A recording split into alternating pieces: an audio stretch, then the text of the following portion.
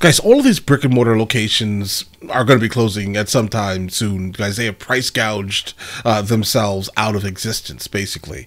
Uh, think about this here also. It's also not extremely or excessively convenient uh, to go to these locations uh, because everything now is basically locked behind some type of I don't know system, and they don't have enough employees to basically help you fast enough. So, so think about this here. You go to all these locations, you get terrible service because again, no one wants to work in the places any longer, right? Uh, and then you're you have to deal with prices that are absolutely crazy compared to what they once were, right? Um, example being, guys, I'm currently building another studio. Uh, my main studio is basically being rebuilt. Uh, we just finished the uh, the externals, all the contractors finished everything. Uh, we're just waiting for the set designers to come in and start building, right? So, for example, this uh, panel right behind me, right, he, right there right there. It's a test panel, see what, just to see what it looks like on camera, right? Um, and the point I'm trying to make here is that the, the contractor responded back to me and said, hey, listen, um, they're going to be $200 for every 10 panels, example. Um, who wins? Who's going to win? I'm not going to pay that price for that, knowing that they're cheaper. That's crazy. So the same exact panel, same exact brand, everything is on Amazon for 33 panels for $60. Okay. Uh, this is the problem, I think, um, personally my personal issue with a lot of these brick and mortar locations. I would rather uh, you just basically turn into a warehouse stock for uh, your company. Uh, we buy everything through through an app, and we go there. Every single parking lot has a number. We say we're here, then you deliver it because you really don't want us walking through your stores anyway any longer, anyway, guys. Right? That's just the reality. That's how I see it, at least, guys. My reality. Um, but all right, let's go ahead and check this out immediately. Why CVS and Walgreens are shutting down thousands of stores? Let's find out. Okay. In June 2024, pharmacy chain Walgreens made a shocking announcement. They plan to close a significant number of stores. At this point, only 75% of stores bring in what is effectively their revenues and profits. The iconic chain is rapidly reducing its footprint, Ooh, with approximately 2,150 locations on the chopping block by 2027. This is just the latest effort by the struggling company to right a ship that has seen a rotating door of CEOs, stagnating profits, and its share price fall more than 55% between January and July 2024. Guys, some people want to argue the concept uh, these aren't price gouges. Guys, do you realize they're they're setting record profits? they have been setting basically record profits uh, since 2020. Yeah, yeah, price gouging case. That's the definition of that, I would think, right? Um, you were already making all the money in the world, right? And now you're taking advantage of inflation, uh, and uh, yeah, double or tripling your prices, it seems, guys. In the Q3 report, CEO Tim Wentworth cited two reasons pressure on the consumer and challenging trends in the pharmacy space. They don't have infinite time to stabilize this before it's too late. But Walgreens' problems are just the latest sign of trouble for the entire industry. CVS has been closing stores all along. Rite Aid is filing for bankruptcy. Rite Aid still so exists? what is happening to American pharmacy chains? How did Walgreens go from record highs to a bottoming stock price in just under a decade? And what does all of this mean for you? Bro, who wants to walk into a store and everything is locked up? Guys, I get it, though, as a business owner. In order to better understand the headwinds facing chain pharmacies, we have to separate the store into two parts. First, there's front of store or retail. You know, your over the counter cough medicine, paper towels, makeup, candy bars, that kind of stuff. Then there's back of store or pharmacy. We'll get to that later. First, let's start where everyone starts walking in the front door. Walgreens of today looks very much the same of the Walgreens of yesterday it hasn't really evolved and adapted. When it comes to retail, Walgreens is in the midst of a downward slide, seeing a 4% year over year decline in Q3, a continuation of a rough few years for its retail segment. The front of store offer, where the general merchandise is, the beauty products, isn't that good. It often doesn't look very good. The brands that they have aren't very interesting. The prices are often much higher than other destinations. And a lot of people will think, well, yes, I'm here, but why bother paying over the odds? Every couple of years, I hear, here's our new plan for the front end. And it's always some new gimmick, that, and then that doesn't work, and then they don't talk about it anymore. As inflation squeezes customers, chain pharmacies are struggling to compete with cheaper alternatives, oh, yeah. like Amazon dollar stores and big box win. retailers, who offer larger selections and have their own in house pharmacies. Particularly our consumer, uh, is definitely pressed both from uh, you know the on, ongoing inflation that we've seen, albeit it's somewhat moderating, as well as the amount of money that they just have uh, as we move forward. Now, Walgreens realizes this is an issue and recently announced plans to lower cost on 1,300 front of store items but it might be too little too late because yeah, it's, it's not just the economy that's changed, but the How way we shop. Buy things. Yeah. Anybody with a pulse would know what's happening with front end, which is like, bro, if you guys are smart, I'm telling you, uh, the first pharmacy to just make everything app oriented and literally turn all your brick and mortar locations into just a warehouse, like an inventory stock base where someone can just go, get in line, they bring it to the car, and they leave. That'll be the fastest way to to fix your business. All right, you, you can use less people uh, because you're, you're looking at less, almost no shrinkage, literally no shrinkage, unless it's employees, right? Um, and then you save a lot of issues here. That's it, guys. The first pharmacy to do that wins. Yeah, they're in a pincer movement with Amazon and Walmart getting better and better. Uh, they have better price points. Um, the delivery options are getting, you know, quicker and quicker. Another frequent pain point for retailers: right shrinkage here. or loss of merchandise, oh, well. Well, yeah, often due to damage or theft. In an interview with the Wall Street Journal, CEO Tim Everything Wentworth cited up. high theft locations as a factor in determining which stores would be closing. Store experience has deteriorated with employee cutbacks and with shoplifting in some locations, as you know, locking the Gillette razors behind the case. The problem is, anti theft measures aren't popular, as locking necessities behind glass cases doesn't just deter thieves, but it drives away paying customers. Yep. I will not buy whatever is behind there. I will go somewhere else. I'm telling you, I have I am principled. I will literally go to Amazon and just have you deliver it to my house. I will not ask for help. Locking things away behind cabinets is the biggest advertisement for Amazon that you could possibly make because it just says to the customer, this is a really hard place to shop. And yep. that's just the headwinds up front. 8 million vaccines this year at the back of the store already. That's a healthcare business, right? Uh, that's not just putting pills in bottles. When it comes to back of house operations, pharmacy and health services are Walgreens' largest source of income. In Q3 2024, pharmacy sales made up 76% of Walgreens' US retail pharmacy revenue and 60% of the company's revenue as a whole. But that's been a declining business for Walgreens, largely thanks to telehealth services and lower reimbursement rates for pharmacy benefit managers, or PBMs. PBM is a company that acts as an intermediary between your insurance and the pharmacy. PBM started with the idea of being a claims processor. So when you bring a prescription to the pharmacy, the pharmacy can bill the PBM. The role of PBMs has since expanded beyond just facilitating reimbursements. They also negotiate drug prices with manufacturers, determine which drugs are covered, set copays, set prior authorization criteria, and decide which pharmacies a patient can go to. And I think where the traditional PBM pricing model fell apart and where there's so much concern is that the, the entities are being paid to manage drug costs, but typically benefit when drug prices increase and it creates a misaligned incentive. The issue for pharmacies is PBMs have been shrinking the reimbursement rates and pushing patients towards generic brands over name brand a move that helps the PBMs but makes it harder for pharmacies to make money. The FDA now estimates 91% of prescriptions written in the US are for generic brands. Historically, pharmacies um, made more money on generic, less money on brands. Is that with the growth, particularly of the GLP 1s for diabetes, the brand volume has increased. And where pharmacies weren't making as much money on brands, as you increase that volume, it creates more and more pressure, reimbursement pressure on the pharmacies. Currently, the three largest PBMs in the US are CVS Caremark, Cigna's Express Scripts, and United Health's Optum Rx. These three companies alone manage almost 80% of all US prescriptions. And yes, you heard that right. CVS owns its own PBM, Caremark, which is owned by CVS and CVS oh, stores, Caremark can set whatever that. rate it wants with itself, and it's just left pocket, right pocket. Whereas with Walgreens, they're just a straight up price taker.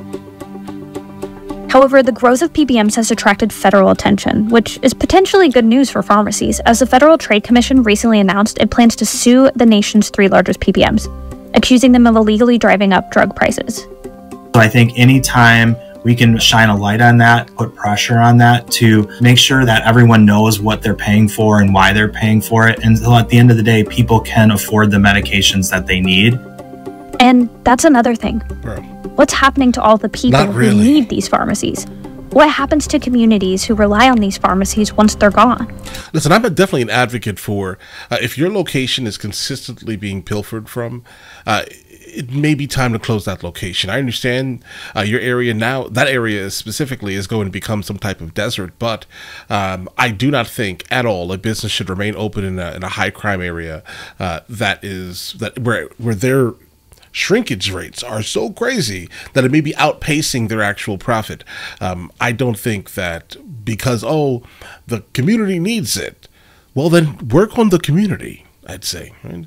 Like make it so people don't walk in there and take things all day long, right? I mean, it shouldn't be a, a culture of it because it sounds like in areas where they have to close down due to shrink high shrinkage um, or just overall theft, these these places shouldn't be open, guys. Right? They shouldn't be. But either way, pharmacy closure can be detrimental, especially in areas where access is already an issue creating something called pharmacy desert, or a place with low geographic access to pharmacies. Right, all types the of definition of this depends on several things, like the density of the area and the resources of a neighborhood, including the median income of a neighborhood and how many, you know, the vehicle ownership of that neighborhood. According to the National Institutes of Health, approximately 15.8 million Americans live in a pharmacy desert. An NIH survey of census tracts identified over 4,600 pharmacy deserts in the US, with the majority being in urban areas. Theft. Again, because of theft. Right? It's not just pharmacy deserts, guys, food deserts, education deserts. Right? All of this happens when things start looking super terrible for the area. The area is, uh, you know, falling into a blight, basically, right? There are neighborhoods in the south side of Chicago that specifically the south side of Chicago is going to be the reference to uh, the majority of all of these deserts, guys, right? Uh, as in, it's a pharmacy desert, it's a food desert. There are, there are really no healthy alternatives, but I also wouldn't put a a grocery store in the area specifically because the last one that did, I think, it was Walmart. Walmart left right? Theft, guys. Consistent theft. All right. So I don't know. What do we do about this? Fix the culture of the area. Uh, then maybe the locations wouldn't leave all the time, becoming deserts. But yeah, south side of Chicago is in fact a desert, many types of deserts. Being in urban areas.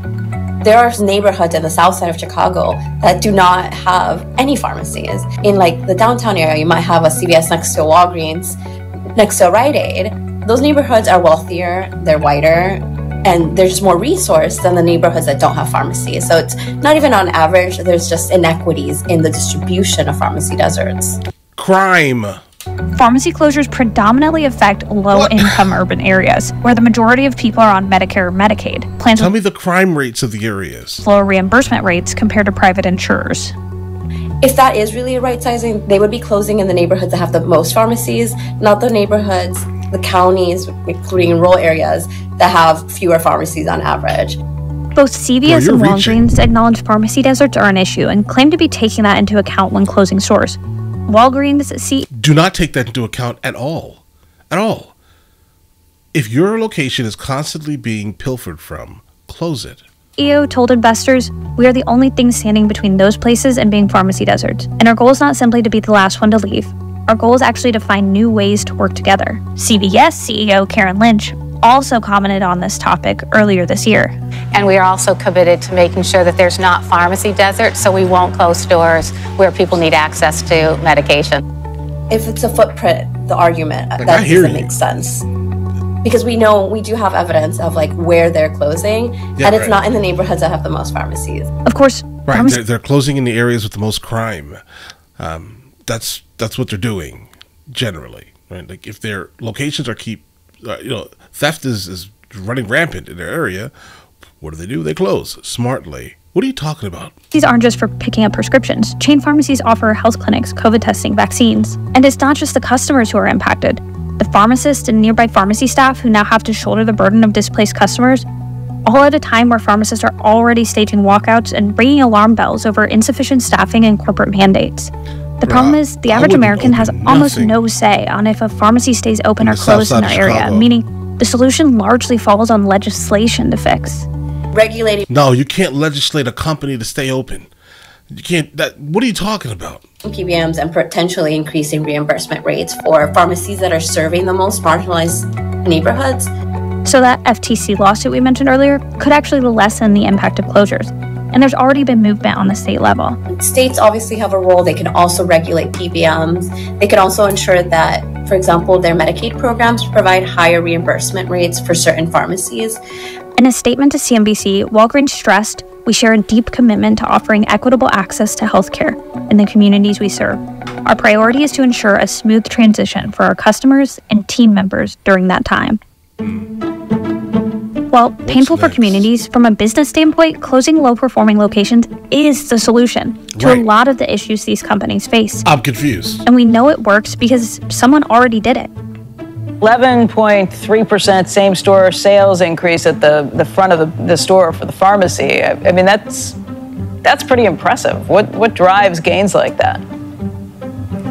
Part of it was that they just had greater volumes at the pharmacies. And I remember CVS has been closing stores all along. They ah. expect to close up to 900 by the end of this year from where they were a couple of years ago. Other attempts to cut costs include Walgreens pulling out of its primary care endeavor, Village MD. In Walgreens Q3 investor call, CEO Tim Wentworth gave investors ideas of where Walgreens is shifting its focus next health, beauty, and women's health. Oh, that's where the money is. It certainly hasn't taken advantage of Like, if you're a company and you want to make a lot of money, sell beauty products. very strong areas of growth in the US, like premium beauty. It's allowed Ulta and Sephora and others to really eat up market share in that arena. And less pharmacies also means better pricing power when it comes to negotiating with PBMs. One light at the end of the tunnel is on the pharmacy reimbursement. Uh, Caremark, I mean, they have said, look, we recognize that what's going on in U.S. or the drug retail market's not sustainable. So Walgreens could get a new contract from Caremark in 2025. Now, on the consumer level, there's been an unlikely trend emerging out of these pharmacy closures a resurgence of independent pharmacies. It's true that independents close. They incl- close at a much higher rate, but it's actually a question of turnover. So they're more likely to open in rural areas, they're more likely to open in neighborhoods of color and low income neighborhoods because that's where chains aren't. In New York City, less than 1% of Let me hear that one more time. Because that's where chains aren't. In New York City, less than 1% of the population now lives in a pharmacy desert, a city where, as of 2023, only 15% of pharmacies were chains, meaning the mom and pop businesses that were run out by the chain pharmacies could be the solution when those same chains leave. Guys, guys, It definitely creates an, Hold- a hold business on. opportunity We have a for an entrepreneur to come in, start their independent pharmacy, and, and service that area that needs it. All right, listen. Um, give my my overall opinion of, of this here. You can't expect a company that is losing money consistently in an area to maintain the location in that area. There's no there's nothing in it for them. Like businesses exist for profiting almost exclusively. Um, unless it's a nonprofit, then that's a little different. Right? I mean, open up a nonprofit pharmacy if you want. Then I guess if you can even do that, I don't know. Right? But um, they mentioned uh, what, less than one percent live in a pharmacy desert in Manhattan. Guys, that one, that less than one percent, most likely is an area that is full of crime. Um, it seems like the, the the woman that was talking doesn't just want to understand how that actually works. Businesses close because they're being robbed. There's no reason to leave an underperforming location up uh, or open for what? Why? It's it's you're losing money. It's it's a, it's a sinkhole basically. Um, I think we need to, to look at this uh, smartly here. Uh, she mentioned also that um, that mom and pop locations are more likely to open up in areas that are underserved. So she said here, rural areas uh, uh, and areas that are underserved in general. I would expect that. People generally feel a lot more comfortable, specifically if they're of the criminal variety. They generally feel a lot more comfortable taking um, pretty much openly from large corporations. They do. Who does it affect? Other than everyone in the area when they leave, right? But um, that's really what the problem is. Okay, so and mom and pop locations, you know these people. You're probably not going to walk into there and take things. To be honest, right? Um, so that's really that's the that's the the mentality. I'm guessing. I'm forecasting at least. Um, but all right, guys, listen. You guys all have an absolutely amazing day, and if you guys would like to open up a pharmacy in your area, go for it. Right? I mean, you're you're less, you're much less likely uh, to have to deal with the level of shrinkage that these gigantic corporations are dealing with. That's the reality, guys. But it seems like she did she didn't want to put that together, right? But Either way, listen, you guys all have an absolutely amazing day. Enjoy your day thoroughly. Guys, before we go, are you guys subscribed to the other channels? Logical Movie Reviews with Mr. L. Boyd along with Mr. L. Boyd Music. Both are found in the description. Check it out.